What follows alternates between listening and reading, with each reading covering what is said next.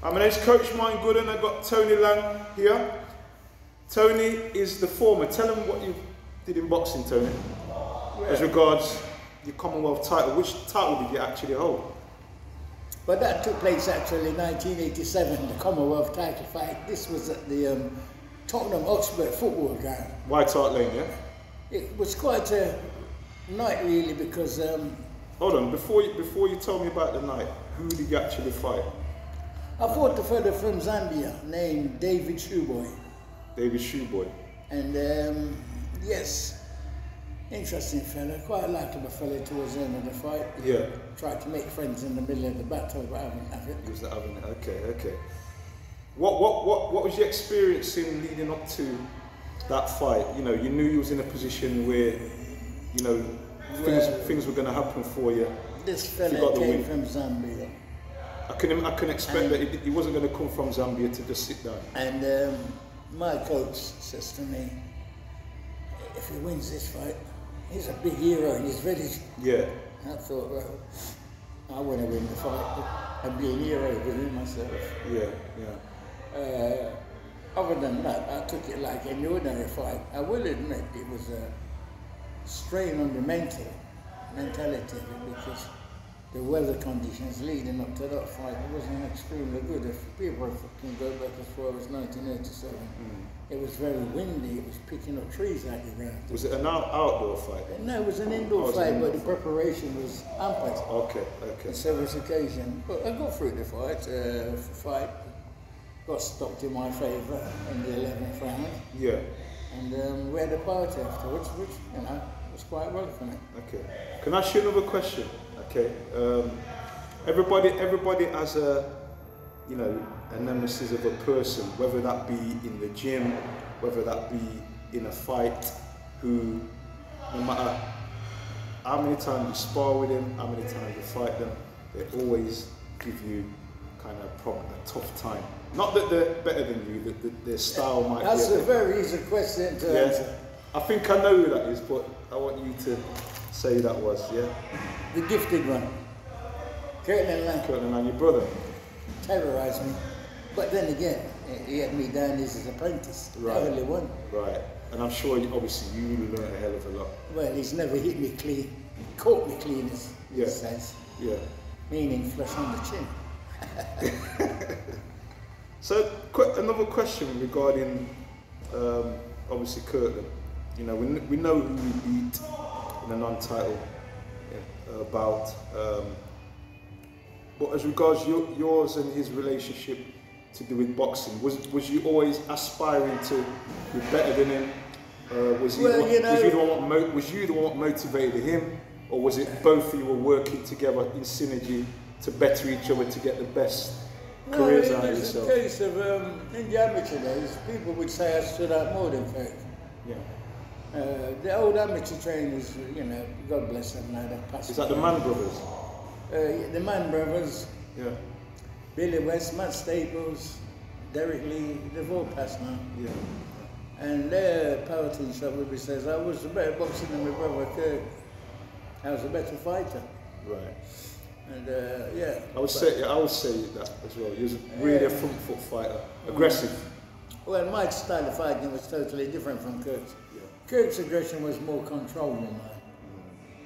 You know, um, a good punch could get me into the mood of aggression, the way Kirk could bide his time and then bring his aggression on. Yeah.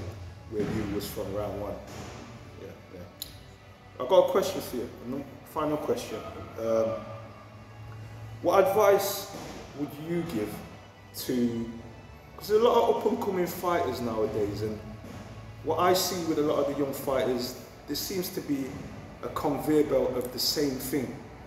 You know, everybody wants to be the Mayweather, Logard. Everybody wants to be Prince Naseem. Well, nothing's changed in that like aspect because Yeah. my fighter back in the day was Muhammad Ali. Right.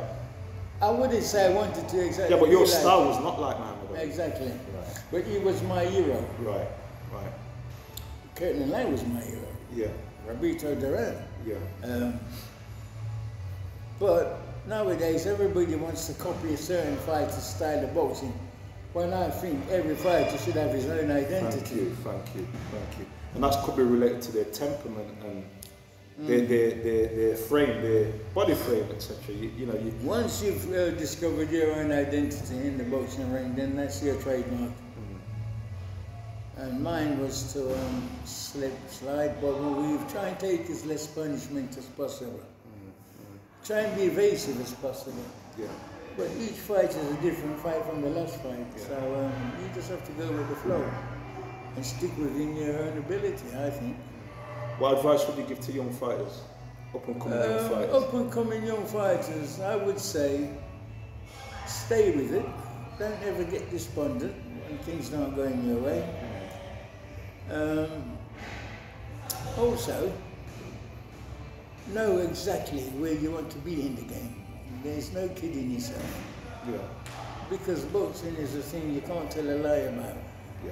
Yeah. There's no, there's no lying. It's the honest truth. You can't, no sure measures to success in boxing. So you know, like you just said, like um, you know, know what you want, etc., etc., etc.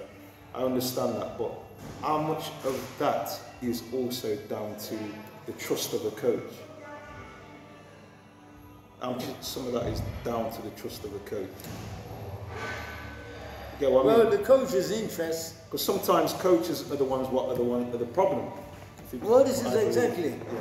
The coach's interest will develop more when he sees how much application the fighter is putting into his into his workload. Yeah. Um, you know, some fighters are very temperamental, moody. Then that's part of the trainer's part to get them moody, to get them fixed up for a fight. But a lot of the encouragement will come within himself, family members, close friends. But ultimately, it's got to come from him, though. Surely that spark. Yes, he's got to want to do it. There's no forcing any fighter, anybody into something they don't want to do. It's got to come from within the heart.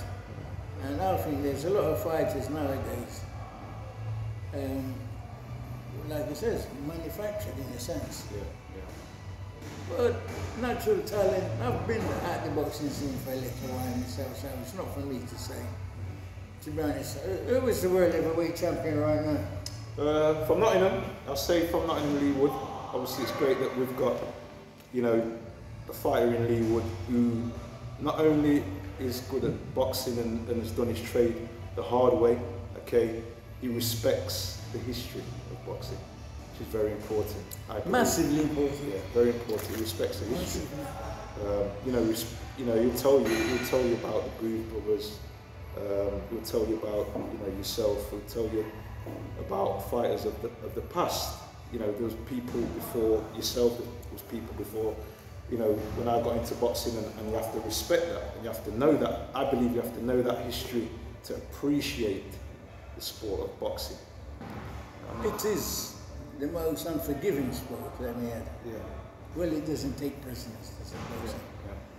yeah, yeah. Um, sweat, blood and tears. A lot of that is in boxing. It is a very highly emotional sport.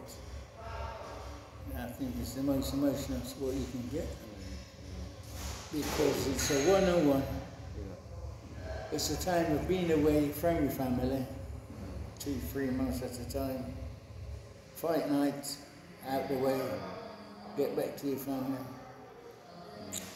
But um, for up and coming boxers, they've got to want it badly. No one's going to give it to them. They have to want it badly to appreciate it. They have to want it more than life itself. These are the words my coach used to say to me. Anyway, Tony, listen. Thanks. Yeah. Yeah, Have a good day, mate. Have a good day, Tony.